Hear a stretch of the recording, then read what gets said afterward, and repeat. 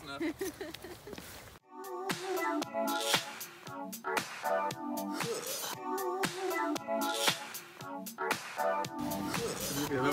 Next time we'll go over to debox it.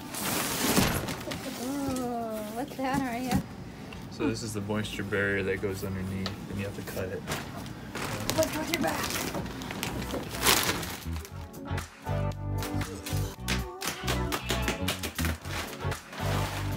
It's going. Oh, okay. Thicker. Okay, thicker than I thought. It's not as exciting as I was uh, thinking in my mind.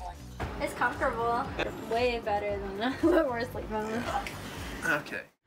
Okay, so you've seen a part of the bathroom demolition so far, and now we're going to be uh, removing the aft head and holding tank on our hull. Once those are removed, then we'll be able to take the fiberglass enclosure out and start putting down real floor. And basically, after the fiberglass is removed, the entire heads on that side will be out. This is one of the less fun aspects of working on the boat. It's kind of scary doing this because it's near our old through holes and old seacocks and also if you do it wrong you're gonna get gross. I mean no matter what you're gonna get a little bit gross but you want to minimize the amount of grossness that is had. Alright so let's what do we have here? This is our toilet, our head, and the holding tank. And once those are off we will cut out this faux bulkhead right here and rip up all this fiberglass and then we can put some temporary flooring in. So let's get to it.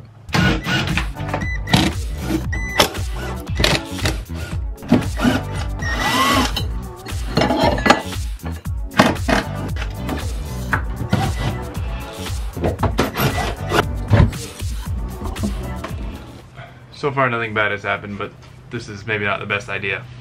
This hose doesn't want to come off gently and I don't really want to force it because it's connected to an old seacock. So I'm going to heat the hose with a heat gun and that should make it a lot more likely to come off smoothly. And we want to come off slow too. We don't want to like have it pop and have a lot of grossness come out. Yay! That was about as good as it could be. On each head on our boat, we have four, uh, three through holes and four seacocks. We have this one double seacock right here for the drains, the shower and the sink. This one is the uh, inlet for the water, and this one is the uh, discharge for the toilet. Uh, as you can see, they're kind of old, a little bit corroded. Replacing the Seacocks is on our to-do list, but it's kind of further down the to-do list. It's kind of a risk we're taking because we want to know, we want to wait until after our refit so we know exactly if we're going to keep all our Seacocks or if we want to glass some over. In the meantime, we just kind of treat them like they're dynamite and stay away from them. That's why I'm really happy to get things unhooked from them to uh, have less things that will jerk or pull on them. A lot more space with that tank out. Time to tear out the toilet.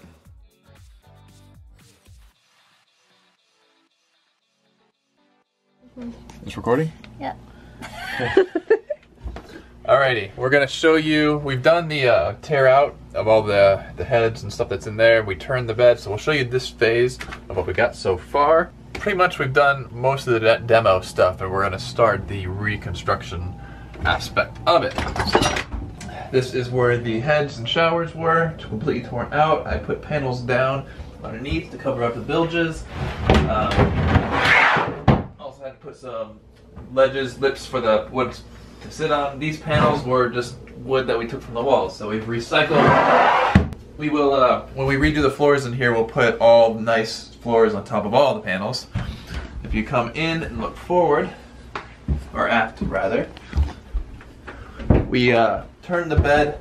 This is the bed being turned is permanent, but we're gonna build proper shelves underneath. Right now, we just have a temporary ledge that is holding up the bed, and we had to tear out a lip here. So this wasn't too hard, but now we have a nice uh, full-size bed, and it faces the proper orientation, so people don't have to crawl over each other to get into bed. If we turn around here, we will see that uh, we've cut the doorway for, so this area here is where the toilet's gonna be. Everything forward of here will be the bathroom with a sink and vanity here and then a standing shower forward. So, yeah, we've opened it up and I'd say it's no longer a charter version, but it's not yet quite an owner's version. After we tore the heads out, we found that the starboard side was actually sitting about an inch and a half higher out of the water than the port side, just basically due to all of the stuff that we removed, all the heavy fiberglass, holding tanks, toilets, and all that stuff, which is not a big deal because once we put everything back into the starboard side, it'll weight itself back down. Hi, Arya. How are you doing?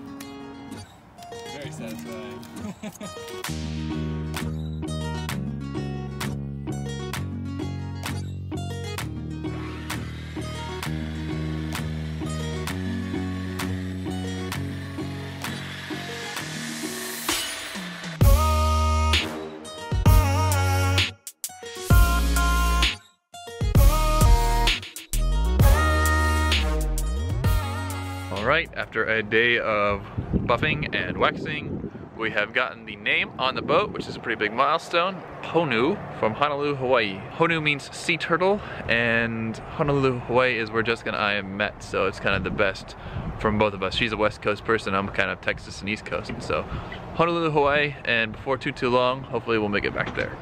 Other than it being really cold, I'm quite pleased with how it's turning out. This is my dad. He did the buffing and half the work for the applying. So now we gotta go do inside stuff.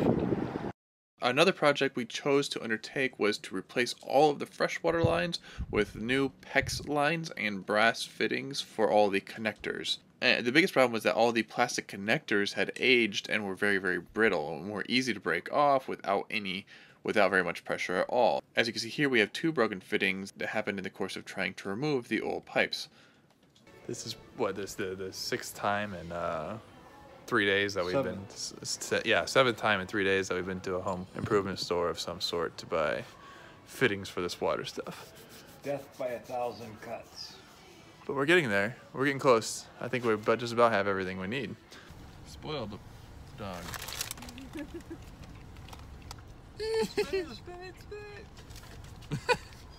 Rabbit dog.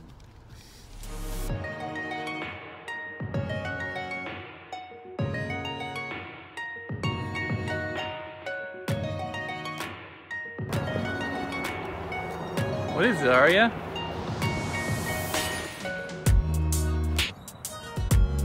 It's over there now.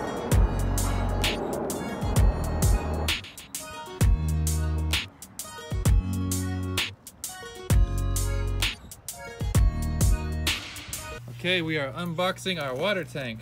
We're getting ready to take the dogs to the dog park. But our, not water tank, holding tank. So exciting. Holding tank. So this is the top. All right, what do we got? 35 gallon holding tank.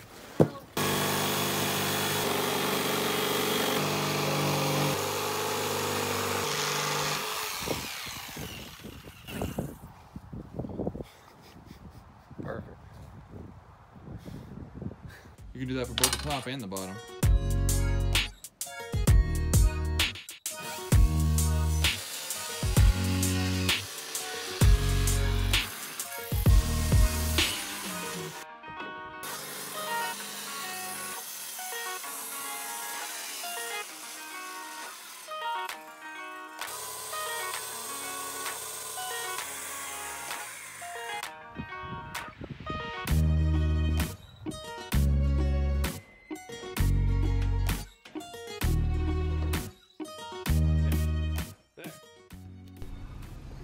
Feel like it's a lie to pretend like it doesn't get messy. So I dry fit and trim to fit all the pieces that we cut on land on the boat and put them into place and then we temporarily fasten them with screws in order to allow them to be fiberglassed into place without worrying about moving them.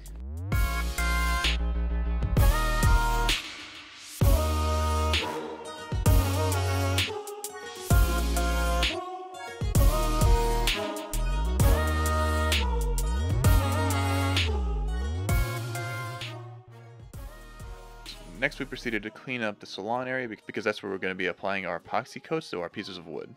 We did it inside because it was too cold outside for the epoxy to do any curing. Oh, okay.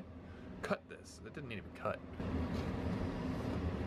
For both of us, this was our first time doing anything with epoxy, so we kind of went slow here at first while we were applying the first coats. But we followed the instructions and it went really well. Ah, voilà. Round one is done. It's a bit of a mess, but it was all things considered successful.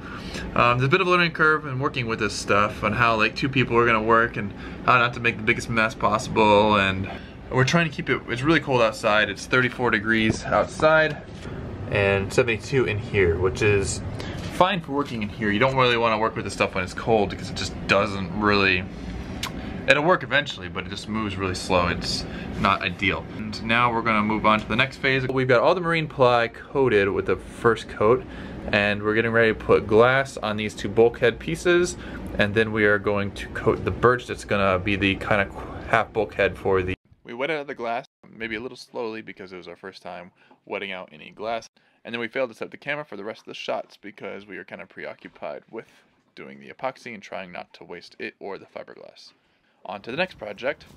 So while that was curing, we tested out our dog net that we put on our transom to keep the dog from wandering the oh, docks. Nope.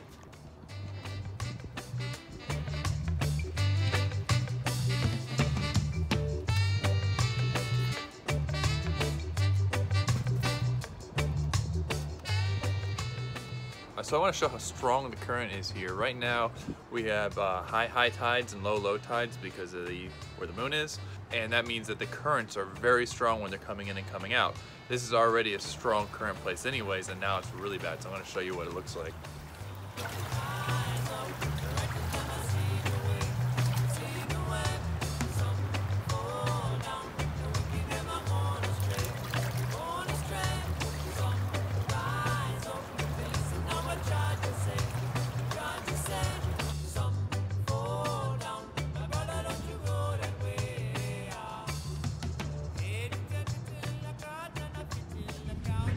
So as you can see, we are in the Bahamas. The refit worked. We was able to, we were able to make the boat functional, get where we needed to be. The next few videos are going to wrap up the refit up to this point and then show our journey from Charleston to here in the Bahamas. Right now we're in the Exumas. So stay tuned, those videos are coming. Also, we have shirts for sale. Check out below, you can help support the channel that way if you're interested. Also, we have live tracking on our Patreon if you want, if you're curious. Can they message us? Something? Yeah, and you can message us. Hmm. So, good point. If you want more of a up-to-date real time, then follow us on Instagram. I try to post on there frequently now. We have uh, links for that down below. Thanks for watching. Please like and subscribe. See you next time. Bye. Doesn't even look that tropically. There, see that looks tropical. Blue waters. Bahamian sunsets.